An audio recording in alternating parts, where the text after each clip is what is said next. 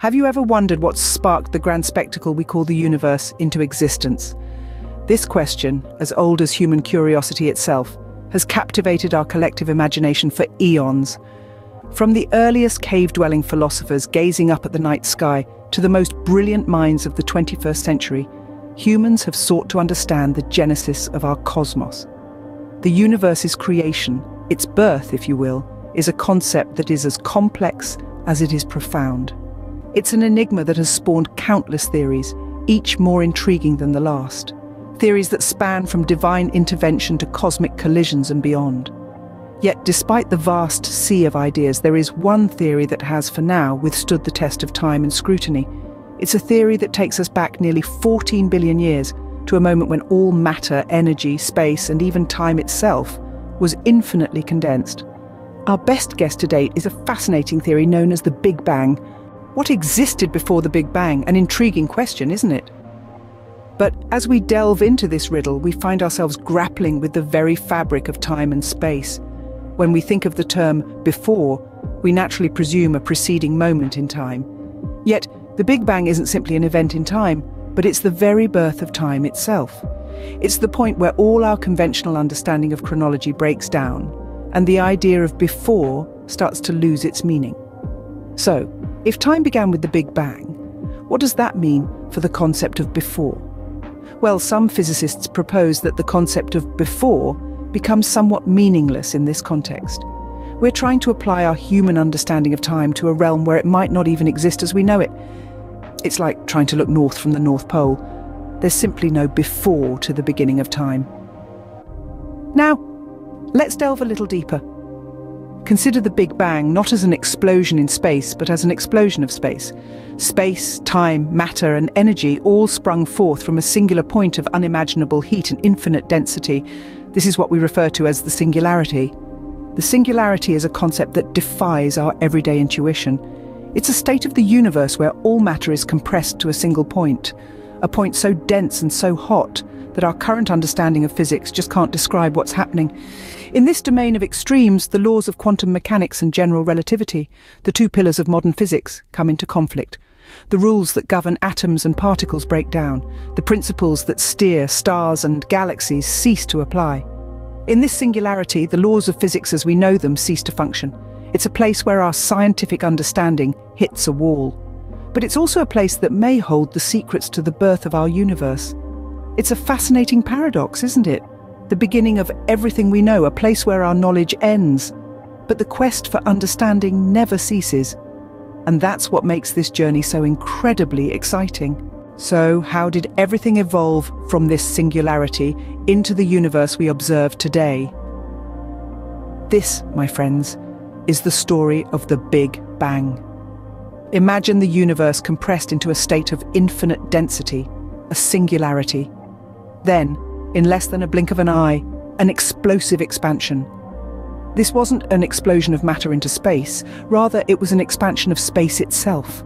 This rapid inflation, faster than the speed of light, stretched the universe from a point of singularity into an enormous expanse. In these earliest moments, the universe was incredibly hot and dense. As it expanded, it cooled. After a fraction of a second, the basic particles of matter began to form. These were quarks and leptons, the smallest units of matter that we know of today. They were created out of pure energy as the universe cooled down. Now, these particles didn't immediately combine to form the atoms we're familiar with. The universe was still too hot for that.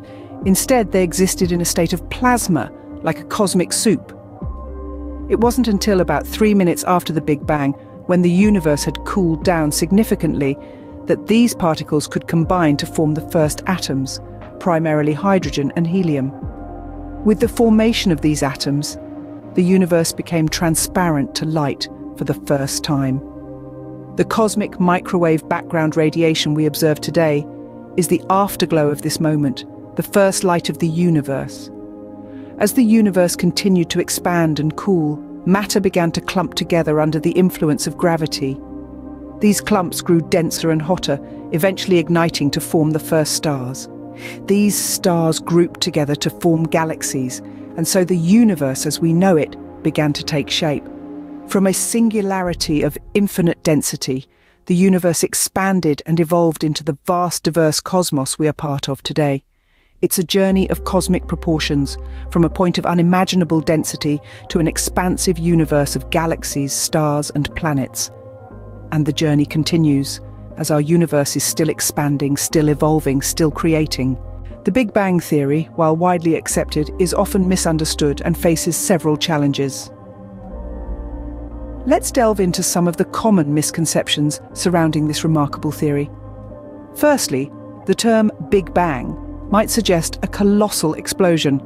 But here's the twist. It wasn't an explosion in the conventional sense. Instead, it was an expansion of space itself with all the matter and energy of the universe contained within it. So, rather than picturing a dramatic burst of matter into empty space, imagine space itself expanding from a singular point, carrying matter and energy along with it.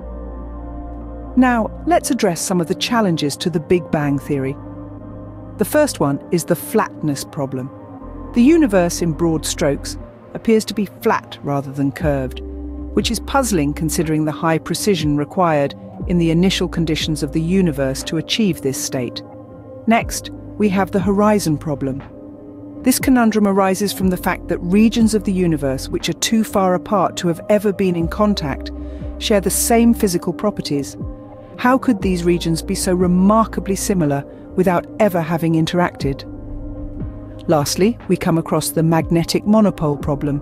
According to certain theories, the Big Bang should have produced a large number of magnetic monopoles, particles with just one magnetic pole.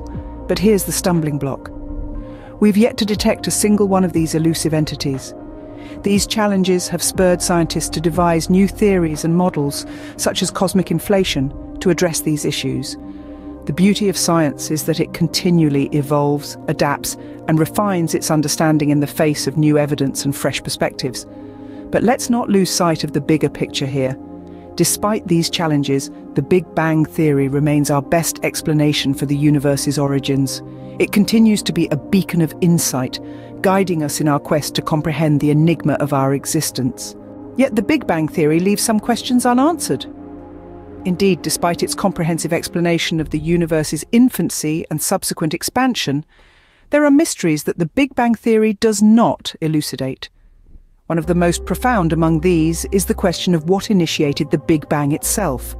What sparked this cosmic explosion? Was it a quantum fluctuation, a divine intervention, or something else entirely? We simply don't know. The Big Bang Theory also doesn't offer a satisfying answer to the question of what lies beyond our universe. Is our universe just one of countless others in a broader multiverse? Or is it unique, the lone cosmos in an infinite void? These are questions of such magnitude that they boggle the mind and challenge our understanding of reality. Then there's the future of our universe. The Big Bang Theory provides a genesis story, but it doesn't give us a clear picture of our universe's destiny. Will it keep expanding indefinitely, growing colder and emptier over time? Or will it eventually collapse in a cataclysmic big crunch? Or perhaps there's another fate awaiting us, something we haven't even conceived of yet. We're left pondering these questions, and many others, in the face of a theory that provides a framework, but not a complete picture. It's like having a jigsaw puzzle with many of the pieces missing. We can see the general image, but the details, the fine nuances, remain elusive. But this is not a cause for despair. Rather, it's a testament to the wonder of scientific inquiry. The unanswered questions are not dead ends. They are signposts, directing us toward the next phase of exploration and discovery. They remind us that our knowledge, while extensive, is not yet complete. They spur us on, fueling our curiosity and our thirst for understanding. As we continue to explore the cosmos, we may eventually find answers to these questions, furthering our understanding of this incredible universe we call home. The quest to understand our universe's beginnings is far from over.